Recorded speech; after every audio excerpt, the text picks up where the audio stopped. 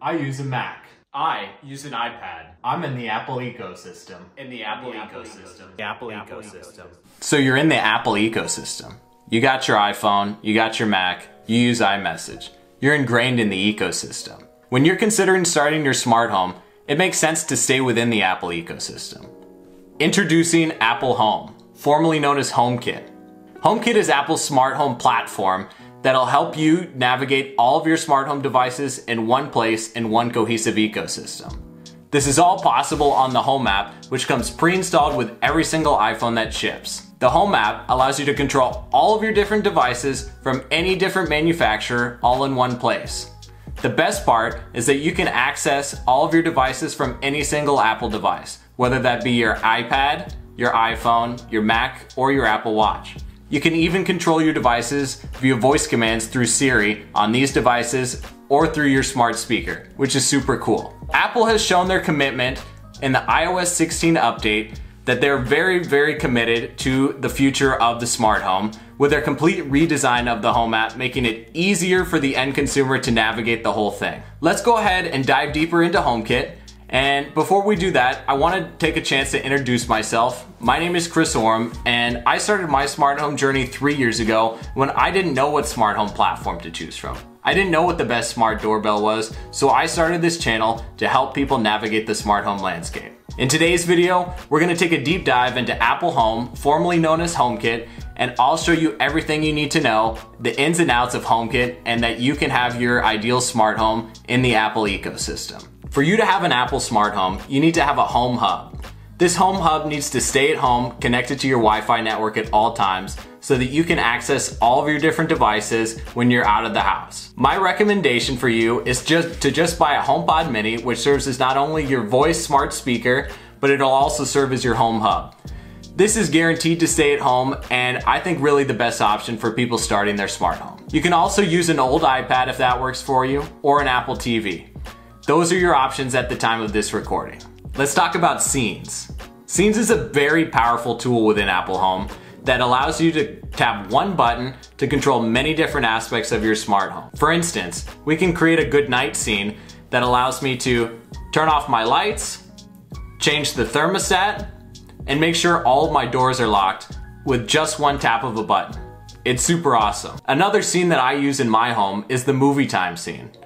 When I push movie time, my TV turns on, my accent lighting turns just where I like it, and I can control my side lamps within my living room to create the desired environment, and that's really the power of scenes. You can control many different aspects of your smart home and control it by a pre-designated scene. Now let's talk about automations. Automations allow you to make things happen in your smart home without you even having to think about it. These things can happen when a trigger occurs. So when X trigger occurs, Y action will happen. So let me give you some examples of the five triggers that we have to choose from. The first trigger is people arrive. So when I arrive to my smart home and my GPS locates that I am now home, we can have lights turn on. The opposite can also occur. When I leave the home, we can have all the lights turn off. Super cool, super convenient. We can also have time of day automations, which means at sunrise, for instance, we can have all of the lights turn on and the blinds open and the thermostat go to 75 degrees, let's say. The fourth trigger occurs when one accessory is controlled that we can control another accessory. For instance, when I have my TV turn on, I have the TV accent light also turn on at that very same time. And the fifth and final automation is gonna be when a sensor detects something.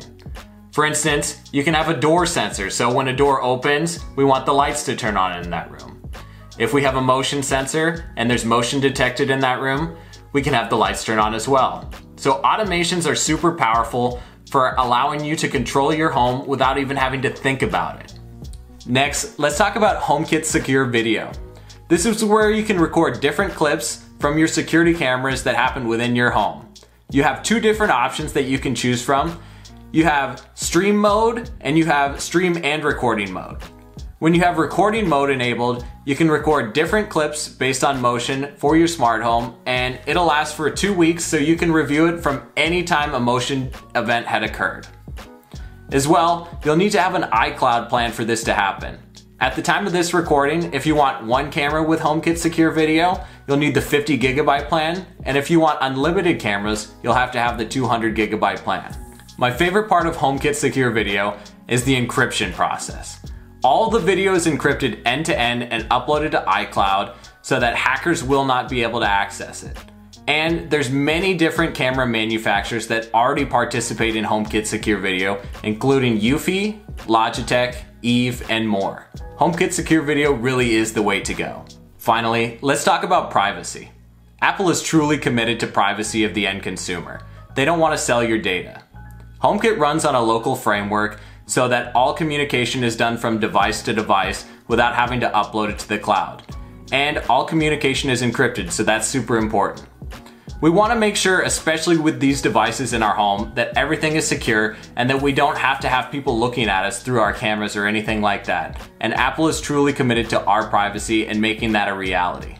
To become HomeKit certified, you have to go through a rigorous curriculum made by Apple to make sure that all standards are being met, to make sure that the end user has the most protection and privacy possible through Apple and their certification program. That's a great reason to use HomeKit in itself. Overall, HomeKit is one of the top smart home platforms you can choose from, especially if you're in the Apple ecosystem. Everything just runs seamlessly with all other Apple products, so it's just an extension for you to have different smart home devices that you're able to control from your Apple products. Not only is HomeKit secure, but it also gives you access to automations and scenes to make things even easier for you to control in your life and in your smart home. The security and HomeKit Secure Video allows you to have protection and control over your home even when you're not there. I love the convenience, I love the user layout, I love Apple's commitment to privacy and to making HomeKit a better experience for the end consumer. I think that HomeKit will only continue to grow and it really is my smart home platform of choice within my home. So I recommend it to you guys. I think it's so easy to use and Apple's never gonna sell your privacy like some other smart home manufacturers. So without further ado, we're gonna wrap this video up. I hope you guys enjoyed watching today. If you would love to subscribe to the channel, it would mean the world to me for more smart home content coming soon. If you want more from me, you can feel free to follow me on Instagram. I'm posting daily about life, smart homes, fitness, mindset, and more. So Without further ado, guys, thank you so much for watching this video today, and we will see you in the next one. Thank you so much for watching.